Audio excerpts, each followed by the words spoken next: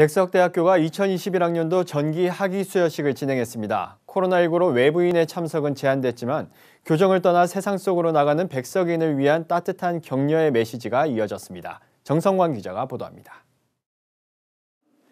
사랑하는 졸업생 여러분, 이제 여러분은 하나님께서 주신 사명을 위해서 세상으로 담대하게 나가는데 예수 그리스도를 안고 품에 안고 나가시기를 바랍니다. 백석대학교가 17일 2021학년도 전기 학위 수여식을 진행했습니다. 이날 학위 수여식은 코로나19로 외부인의 참석을 제한하고 정부의 방역 수칙을 준수한 가운데 진행됐습니다.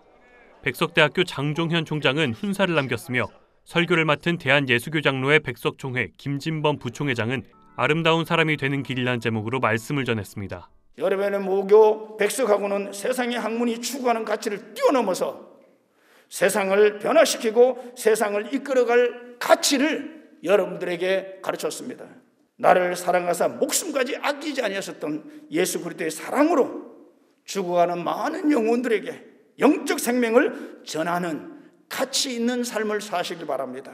이날 학위 수여식에는 학사 2,409명, 석사 323명, 박사 39명, 명예박사 3명 등 총 2,774명이 학위를 받고 실천신학대학원 ATA 과정 67명의 졸업식도 함께 진행됐습니다.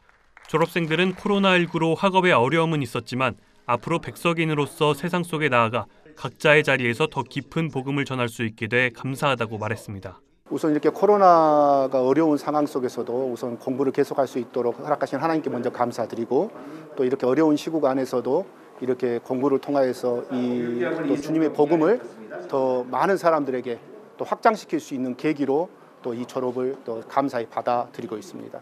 이날 학위 수여식에는 전 실천신학대학 원장 이선 목사가 명예 상담학 박사학위를, 창원 임마누엘 교회 이종승 목사가 명예 신학 박사학위를, 성현교회 유중현 목사가 명예 교육학 박사학위를 받았습니다.